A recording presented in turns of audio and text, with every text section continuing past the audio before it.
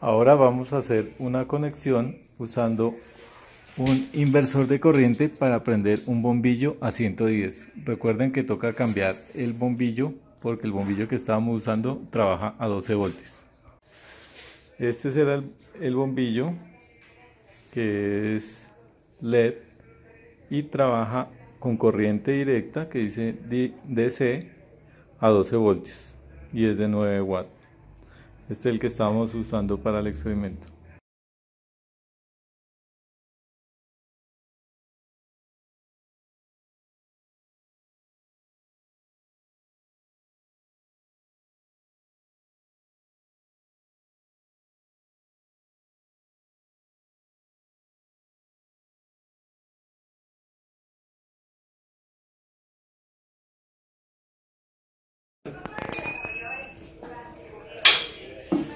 Esta es otra prueba que tenemos acá con un panel de 30 watts.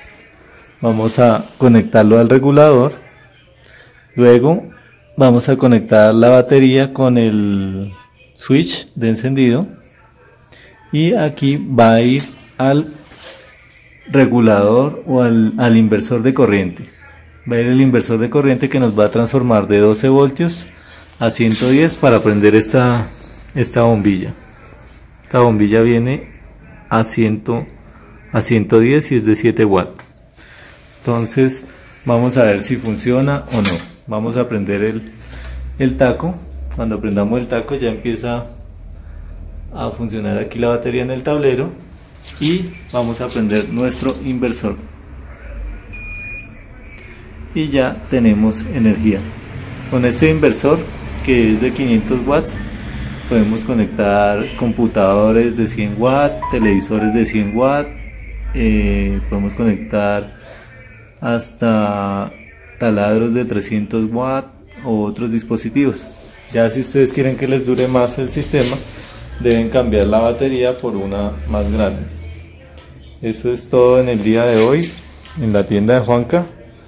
Son experimentos sencillos para que ustedes los puedan hacer en casa.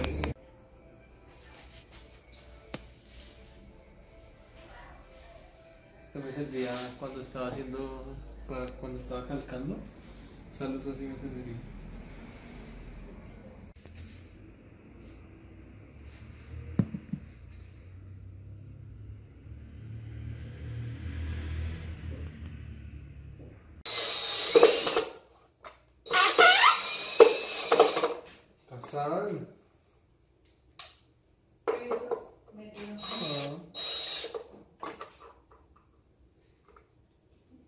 A la vida Santiago los he puesto, pero en las... ¿En las pantallas? Mm.